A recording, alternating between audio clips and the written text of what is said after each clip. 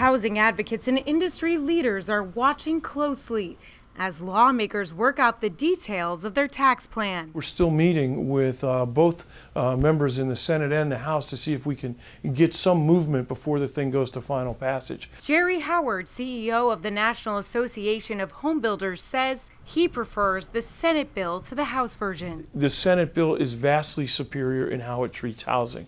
Specifically, the mortgage interest deduction is left at a million dollars. Our economists say that uh, the House bill will probably bring house values down by around 4 to 7 percent.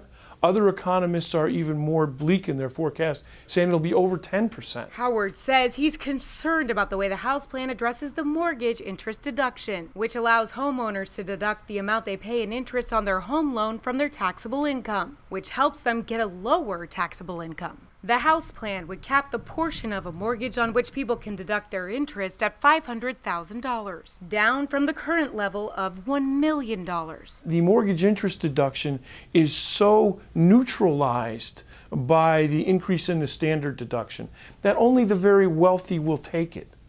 And we think that that is a ineffective use of the taxpayers' money. Housing advocates are proposing replacing the mortgage deduction with a tax credit that offers a similar incentive.